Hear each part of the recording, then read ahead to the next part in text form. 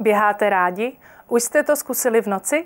Pokud ne, měli jste příležitost při nočním půlmaratonu, který se běžel ulicemi města Ústí nad Orlicí. Na start se postavila skoro stovka závodníků a závodnic, mezi kterými byli jak náruživí, tak i rekreační sportovci. Pořadatelství nočního půlmaratonu měl na starost spolek Rozhoupej město. Nechceme nikomu konkurovat, chtěli jsme prostě jenom dokopat oušťáky, aby se krásně proběhli večer pěkně v chládku a dali si těch 21 kilometrů. Těsně před startem v 21 hodin v parku Kociánka bylo plno. Účast eh, se přiznám, že mě dojmula, že jsme nečekali. My jsme počítali s 50 lidma.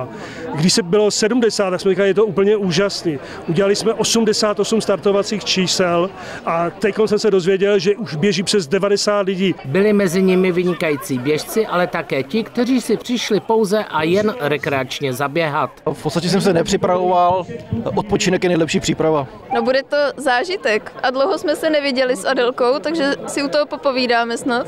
My tady s Adelkou jenom experimentujeme teďka poprvé s během, nebo už jsme byli na půlmaratonu jednom, takže teďka to je naše druhá premiéra.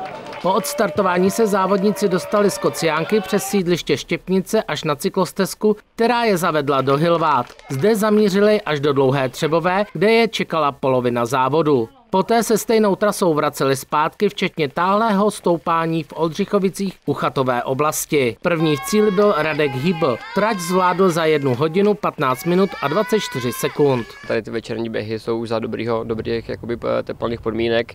Právě takhle v tom květnu, červnu přes den už bývá opravdu velký teplo, takže start kolem té 9. hodiny naprosto vyhovoval díky tomu, že už nebylo takový dusno jako přes den.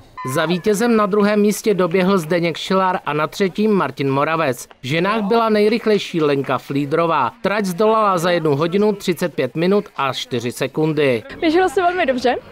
Super počasí, podmínky, trasa dobrá a nejnáročnější asi úsek při cestě zpátky od otočky k další uh, občerstvovačce, tak ten byl pro mě nějaký nejnáročnější.